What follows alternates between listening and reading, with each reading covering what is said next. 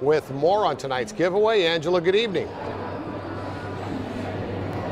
Gino, hundreds of people have already turned out hoping to win that pair of free tickets. Now, we gave away a pair online earlier this week, but you have to be here at the Westfield Palm Desert to win. And you still have an hour. We are accepting people here for an hour. As you can tell, we've already had quite the line to get your passport to Coachella.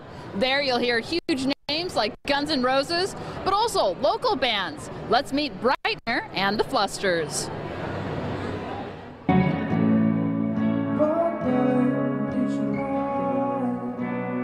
The Flusters will be saying hello to the big stage. This local band is getting ready to perform at Coachella Fest Week 2. It's half fear, half excitement, half exhaustion, half energy.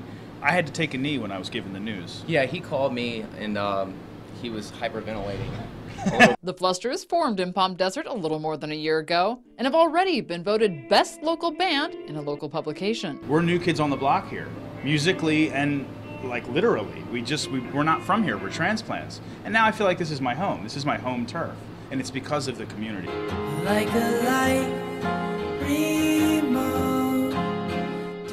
frontman of another local group, Brightner, already played last weekend at Coachella. Coachella Weekend One was awesome. I mean, uh, growing up here and being on the other side of the festival for the past nine years, and then and then getting to experience that. And he'll experience it again this weekend, playing keyboard for the Flusters. I'll be back for weekend two, same stage. Really excited, different band.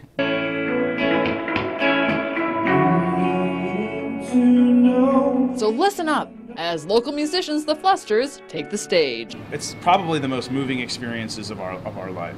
Yeah, it absolutely has been the most incredible experience of my life, and it's so, um, like, there's no words for it.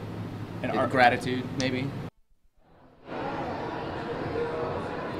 The Flusters will be playing noon Saturday on the Outdoor Guns N' Roses, Calvin Harris, Ice Cube, and more, come on here to the Westfield Palm Desert. As you can see, we've got quite the lineup.